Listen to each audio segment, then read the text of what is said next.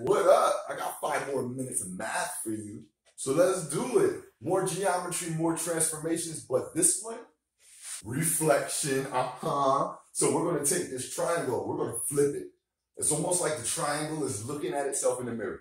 Uh-huh. Now there's a couple of different types of reflections. So this particular video, we're to focus on these types.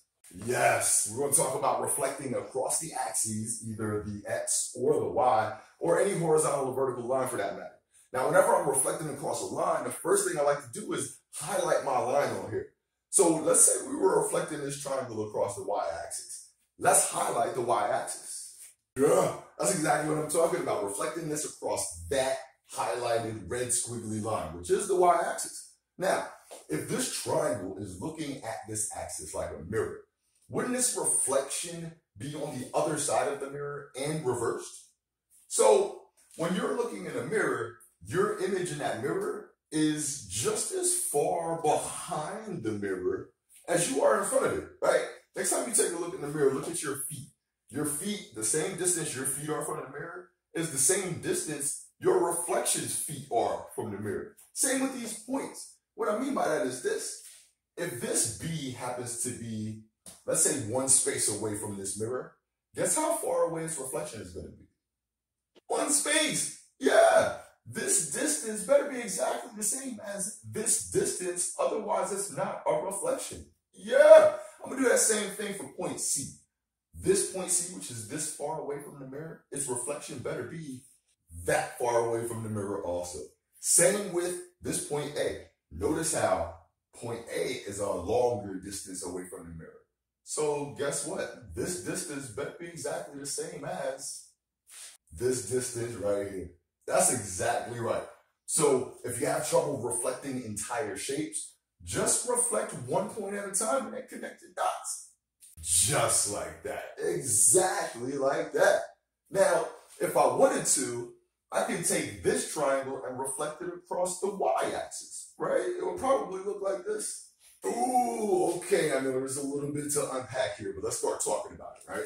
So what I did was I took my red triangle now, and now I'm reflecting my red triangle across the x-axis. I don't know if I said x before, I might have said y, but now we're reflecting across the x-axis. Yeah, notice I have my horizontal x-axis highlighted. Now I'm going to take this and reflect it across.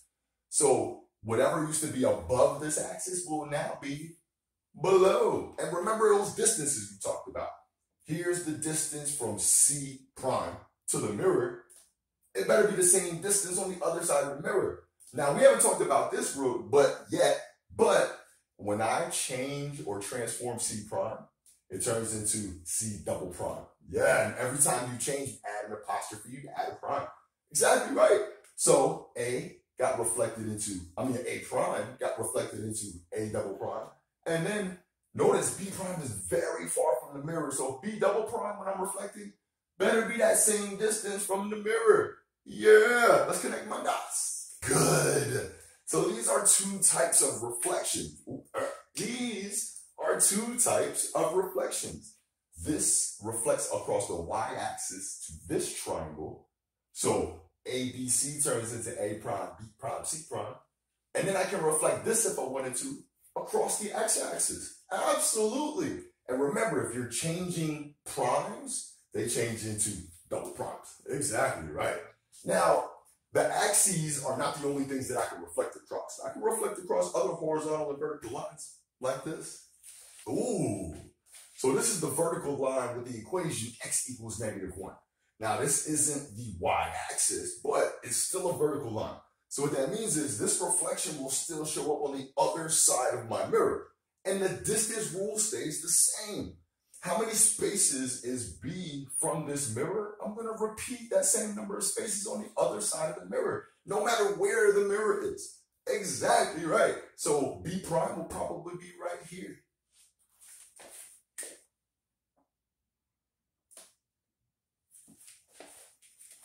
Yeah, this space, we'll say it's one space. If B is one space from the mirror, then its reflection B prime better be one space also. Yeah, same for C. Yeah, if C's one space away, C prime better be one space away. Same for A. Now, A looks like it might be three spaces away. So A prime better be three spaces away. Connect the dots. Yes, and now I have my reflection across this vertical line. Uh-huh. Now, let me show you one more thing.